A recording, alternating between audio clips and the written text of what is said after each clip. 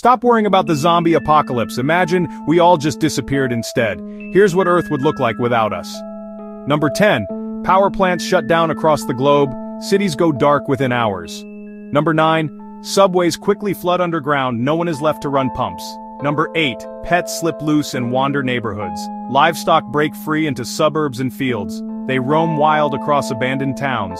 Number 7. Plants creep through cracked sidewalks, trees split open roads and break asphalt.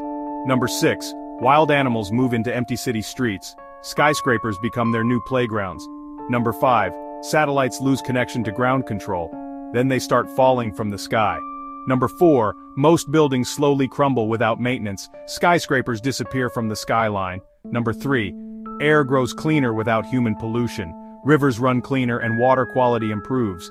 The planet slowly starts to heal. Number 2. Plastic litter endures for centuries, concrete structures remain as weathered ruins and stubborn radio signals linger for a while. And number 1. In a few thousand years nature erases nearly every trace of us, so, if humans vanish tomorrow, Earth would move on, just fine without us. Kinda makes you think, right?